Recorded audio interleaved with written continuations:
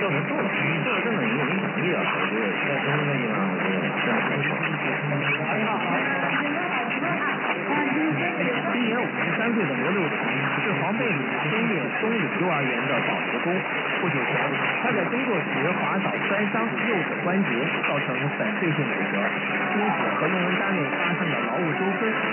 上个月二十号，周金堂带着几个党员代表一起去看。先生，你？